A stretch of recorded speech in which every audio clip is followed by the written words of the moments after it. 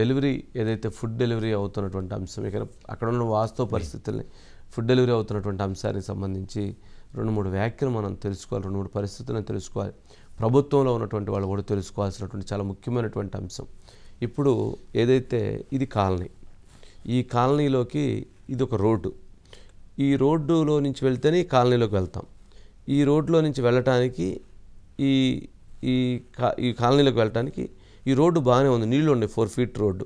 కానీ ఇక్కడ ఎక్కడైతే నీళ్ళు స్టార్ట్ అవుతాయో అక్కడ అనవసరమైనటువంటి వెహికల్స్ లారీలు ట్రాక్టర్లు లేకపోతే ఆటోలు లేకపోతే డీసీఎంలు లేక డిపార్ట్మెంటల్ వెహికల్స్ అన్నీ తెచ్చి ఆ స్టాక్ పాయింట్లు అడ్డం పెట్టేశారు.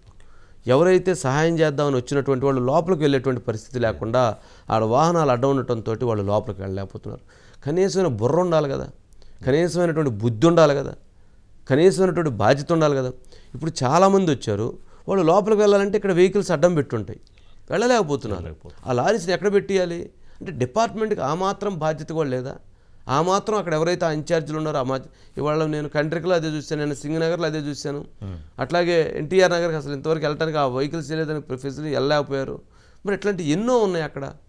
మానిటరింగ్ సరిగ్గా లేదంట మానిటరింగ్ అంటే ఇక్కడ ఇప్పుడు ప్రజలు కూడా బాధ్యతతో ఉండాలి. సరే ఇక్కడ ఇక్కడ ఆపుతారు వెహికల్స్ అన్నీ. ఇక్కడ కాలనీలో ఉన్నటువంటి యువత అంతా కూడా లేదా కొంతమంది ఇక్కడికి వచ్చేస్తారు. వచ్చి డబ్బాలు డబ్బాలు. వాటర్ బాటిల్ నాలుగు కేసులు వేసుకొని వెళ్తారంటారు. అయ్యో రెండు కేసులు మించి పోయలేవు నాలుగు వేసుకొని వెళ్ళిపోతారు. పాల ప్యాకెట్లు ఉంటే మొత్తం బాక్స్ బాక్స్ మొత్తం వాటేసుకొని వెళ్ళిపోతారు. లేక ఇంకోటి ఏదైనా దొరికితే మొత్తం అంటే ఏంటంటే వాళ్ళు అన్నీ ఏం చేసుకుంటారు. అక్కడ వాళ్ళకి కావాల్సింది రెండు రోజులు సరిపోను లేదా ఒక రోజు సరిపోని తీసుకోండి తప్పులేదు కానీ మళ్ళీ తర్వాత దొరకదేమో వాళ్ళ ఆందోళన వాళ్ళది. ఇంకో రెండు మూడు రోజులు. రాదేమో ఇంకా మళ్ళీ ఏమో ఇద్దామని చెప్పి ఆ దొరికింది కదా ఎత్తుకొని పోదాం అనుకునేటువంటి వాళ్ళు కొంతమంది ఇక్కడ ఏదైతే ఉందో ఇక్కడ ఉన్నటువంటి వాళ్ళు వచ్చి కొంతమంది వస్తారు కానీ వయసులో పెద్దవాళ్ళు పిల్లలు ఆడవాళ్ళు ఇక్కడ రాలేరు. ఎవరైతే రాగలిగినటువంటి వాళ్ళు ఉన్నారో అది కూడా కొంత లోతు తక్కువగా ఉన్నటువంటి ప్రాంతంలో రాగలుగుతున్నారు. లోతు ఎక్కువగా ఉన్నటువంటి వాళ్ళు ఇంట్లోంచి బయట రాళ్ళు పైనుంచి కేకలేస్తూ ఉంటారు వాళ్ళు. వాళ్ళ పరిస్థితి అట్లా ఉంటుంది. ఇక్కడ ఏదైతే ఇక్కడ లారీ లాగినాయో ఈ ఊర్లో సిటీకి ఉన్నటువంటి ఇతర ప్రాంతాల్లో ఉన్నటువంటి వాళ్ళందరూ కూడా ఇక్కడికి వచ్చేయటం మొదలుపెట్టారు. వచ్చేసి ఇవన్నీ లాక్కుని వాళ్ళు వెళ్ళిపోతున్నారు. ఇక్కడ ఉన్నటువంటి వాళ్ళందరినీ ఈ లాక్కుని వాళ్ళు వెళ్ళిపోతున్నారు. అదేంటి అసలు ఎంత దుర్మార్గం? పాప వాళ్ళకి ఆకలి కష్టాల్లో ఉంటే వాళ్ళ ఆర్తనాదాలు చేస్తూ ఉంటే మీ బెజవాడలో ఉన్నటువంటి మీ ప్రాంతంలో ఉన్నటువంటి మీ పక్క కాలనీ వాళ్ళు మీ పక్క వాళ్ళు మీ బంధువులు ఎవరో ఉంటారు కదా. మరి అక్కడికి వచ్చి వాళ్ళు అవి ఎత్తుకొని వాళ్ళు వెళ్ళిపోతానంటారు అలాగే చాలా ఇబ్బంది పాపం చాలామంది ఇబ్బంది పడుతున్నారు. ప్రభుత్వానికి న్యాయం ఇచ్చే సలహా ఏంటంటే ముందు వాహనాలు లోపలికి వెళ్ళటానికి ఏదైతే ఫుడ్ డెలివరీ చేయడానికి రూట్ క్లియర్ చేయండి. ఈరోజు నాకు మనం మన మన ట్రాక్టర్స్ వెళ్ళటానికి ఇబ్బంది అయింది. కానీ అక్కడ ఎన్డీఆర్ఎఫ్ వాళ్ళు ఉంటే వాళ్ళు రిక్వెస్ట్ చేసి మనం సరే చెప్పి అక్కడ ఉన్నటువంటి పాపం స్థానికంగా ఉన్నటువంటి ప్రసాద్ అనే వాళ్ళు ఎవరో చాలామంది వచ్చి పాపం ఏమండి? పాపం అసలు వెనక్కి వెళ్ళలేదండి.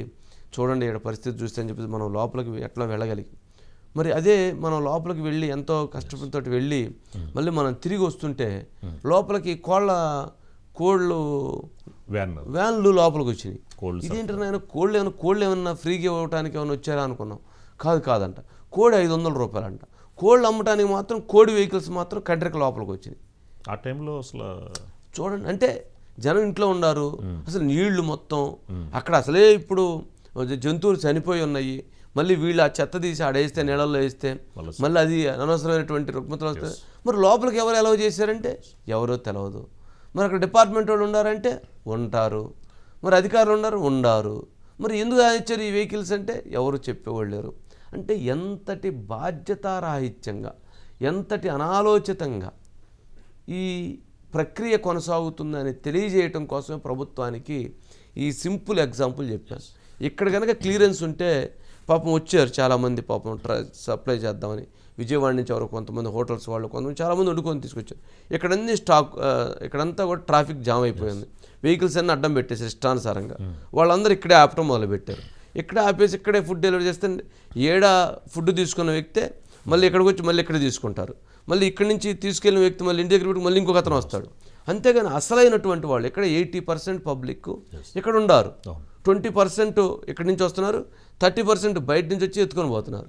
కానీ ఇక్కడ ఉన్నటువంటి ఎయిటీ పర్సెంట్కి చేరినటువంటి పరిస్థితి కారణం ఏంటి? ఇక్కడ లాక్ చేసి ఉంటాం. ఫుడ్ అనేటువంటి వాళ్ళు ఎవరైనా ఫుడ్ తీసుకొస్తే డైరెక్ట్గా లోపలికి తీసుకొని పోయి డెలివరీ చేసే విధంగా వాళ్ళకి ఫెసిలిటీ కల్పిస్తే చాలామంది వచ్చి వాళ్ళకి సప్లై చేసి వెళ్ళేటువంటి పరిస్థితి ఉంది.